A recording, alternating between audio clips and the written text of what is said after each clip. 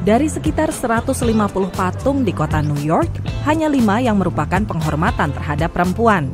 Ini akan berganti. The statues that are being put up around New York City are part of a broader effort on the part of city government to even out the gender imbalance that's prevalent in so many sectors in New York City. It's prevalent in the economy, it's prevalent in business, it's prevalent in public spaces. Inisiatif tersebut dinamakan She Built NYC. Kelima wilayah kota New York akan mendirikan monumen perempuan yang punya keterkaitan dengan kota ini. Pemkot membuka kesempatan bagi warga untuk mengajukan kandidat. We got more than 2,000 responses and over 300 names. And the five statues that you're going to be seeing built in New York City between 2020 and 2022 are directly from that list.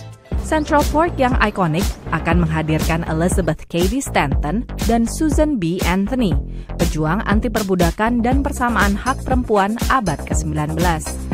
Sementara Terminal Grand Central akan berhiaskan patung Elizabeth Jennings Graham, guru dan aktivis HAM yang menggugat kota New York tahun 1854 untuk menghentikan segregasi pada transportasi umum.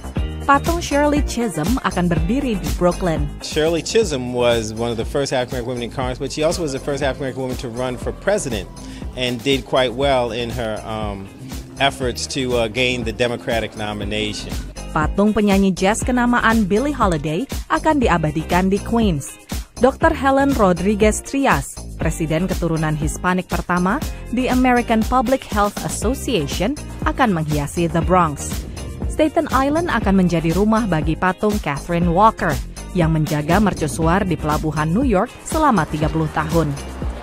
Menurut Pemkot, semua tokoh perempuan tersebut memberikan kontribusi berharga di berbagai bidang bagi kota yang berjulukan The Big Apple ini. Dari kota New York, VOA.